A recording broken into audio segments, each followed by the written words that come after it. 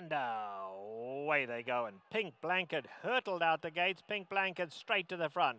Mike's Asset very quick. Lauren's Lady shows good speed as well. Kissing in the dark coming through at the rail. They're absolutely flying. She can roar. Lauren's Lady on the far side is right there as well. And Lucky Monique racing right in behind them. Then back to Sail Away Lady. Pennies from Denny is at the rail. Eight lengths off these leaders. Been followed then by Paris Grapes. In behind that, Nana Beach. Country Soul is racing back second last. And Christmas Candy trails. They coming past the 5 16ths. And just look at Pink Blanket. Pink Blanket is strolling and has gone clear to lead by eight lengths at the top of the lane and Pink Blanket now well, well clear out here.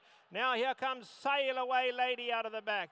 Nana Beach is starting to run on. They pass the eighth pole and it's Pink Blanket by 10. They would need to sprout wings to get to Pink Blanket. An absolute stroll in the park under Martin Pedroza. Never even thought of cocking his stick. Lauren's Lady second. Christmas Candy from last to third, then Nana Beach.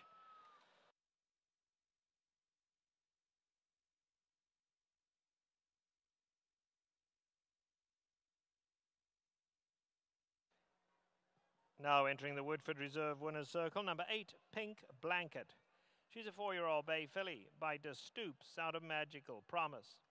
She's owned by Michael Bello and Sano.